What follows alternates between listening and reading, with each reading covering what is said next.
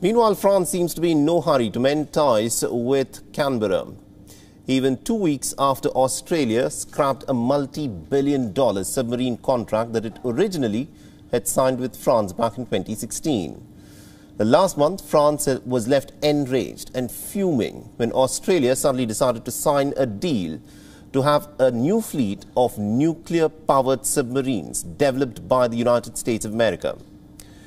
The new deal that is worth about $66 billion replaced the $40 billion contract that Australia had originally signed with the French government for a dozen conventional attack submarines.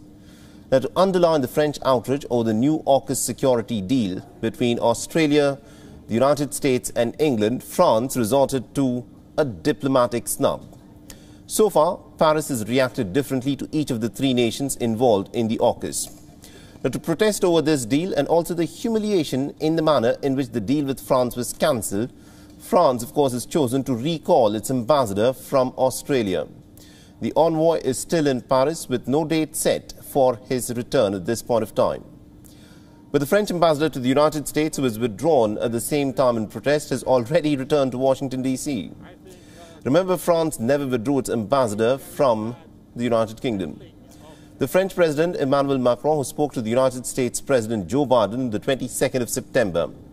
The two leaders will meet in person later this month. The Macron also spoke with the British Prime Minister Boris Johnson last week, but he has declined requests for a call from the Australian Prime Minister Scott Morrison. The Australian Prime Minister, who wants to clear the air for having secretly scrapped the deal with the French and secretly signed this deal with the Americans, has said that he understands France's disappointment. Now, Morrison, who was a guest of Macron in the French capital as recently as the month of June, has acknowledged that he will need to be patient. Now, the U.S. Secretary of State Antony Blinken has also arrived in Paris next week to try and rebuild the bridges that have been burnt with France. Blinken will travel to Paris for a meeting with the OECD Club of Advanced Market Economies. He intends to promise better communication with France as he is now scheduled to also meet with the French officials.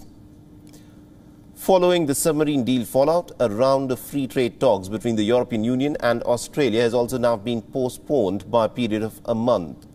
The Australian Trade Minister Dan Tehan is due to be in Paris next week but his French counterpart Franck Riester has declined to meet him.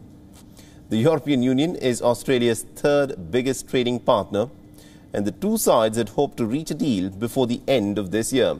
But it is yet to be seen whether France will, of course, use the trade deal to punish Australia.